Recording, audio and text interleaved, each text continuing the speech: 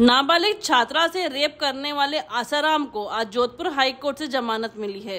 ये जमानत आसाराम के द्वारा सुप्रीम कोर्ट में फर्जी दस्तावेज़ पेश करने के मामले में मिली है। आसाराम दुष्कर्म के मामले में सजा, आजीवन कारावास की सजा काट रहा है। इसलिए वो जमानत के बाद भी जेल से बाहर नहीं आ पाएगा। जस्टिस कुलदीप माथुर ने इस मामले में सुनवाई करते हुए जमानत के आदेश दिए। अधिवक्ता नीलकमल बोहरा व गोकुलेश बोहरा ने आसाराम का पक्ष रखा था। बता दें कि वर्ष 2017 में सुप्रीम कोर्ट में आसाराम की ओर से जोधपुर सेंट्रल जेल की डिस्पेंसरी का मेडिकल सर्टिफिकेट पेश किया गया था, जिसमें आसाराम की कई गंभीर बीमारियों का ज़िक्र था। इस सर्टिफिकेट की सुप्रीम कोर्ट ने जाँच करवाई तो मामला फर्जी निकला। सुप्रीम कोर्ट के आदेश पर जोधपुर के रातनाड़ा थाने में आसाराम के पैरोकार रवि राय पर एफआईआर दर्ज हुई और मामले में आसाराम को भी आरोपी बनाया गया।